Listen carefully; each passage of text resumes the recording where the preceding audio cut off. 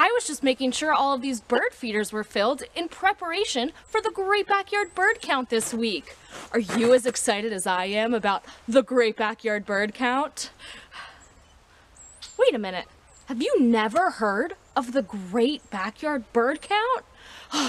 Boy, do I have some exciting things to share with you. Come on!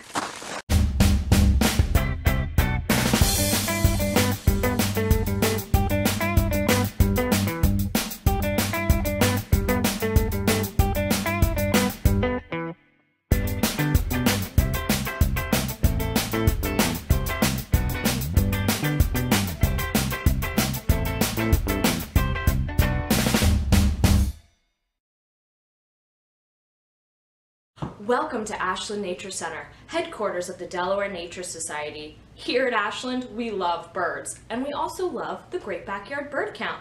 My name is Annalie Merganthaler, and I'm so excited to share these wonderful things with you today.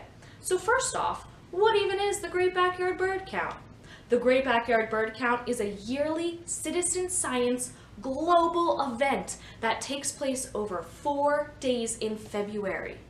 But what is citizen science? And am I even qualified to be a scientist?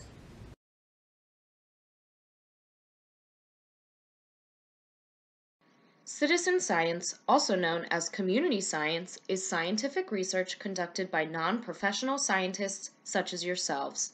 Citizen science happens when ordinary people study the world around them and send in the data they collect to scientists. Anyone can be a citizen scientist. Volunteers have varying levels of expertise, from kids in their backyards to members of high school science clubs to amateur astronomers. Technology these days makes citizen science more accessible than ever before. First launched in 1998 by the Cornell Lab of Ornithology and National Audubon Society, the Great Backyard Bird Count was the first online citizen science project to collect data on wild birds and display results in real time. Birds Canada joined in 2009 to provide participation in Canada, and in 2013 it became a global project when data was entered into eBird, the world's largest biodiversity related citizen science project.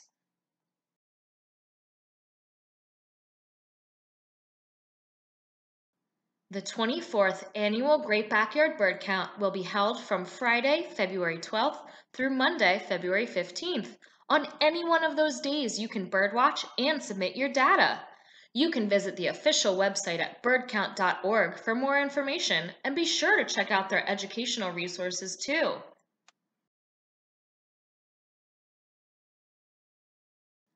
Participating is easy, fun to do alone or with others, and can be done anywhere you find birds. Simply watch birds for 15 minutes or more at least once over the four days from February 12th to the 15th and tell us what you see by submitting a checklist. Spend at least 15 minutes at a location. If you can spend more than 15 minutes, you'll get a better sense of which birds are in your area.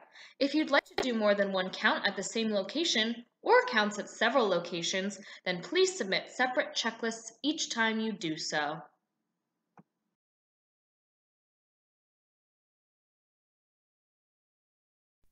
Your observations help scientists better understand global bird populations before one of the annual big migrations in March. The more real data that we have about these birds, the more able scientists are to make real science-based decisions on how to protect them.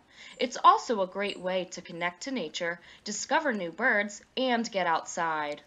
The Great Backyard Bird Count website has many helpful tools and resources to get you started on February 12th.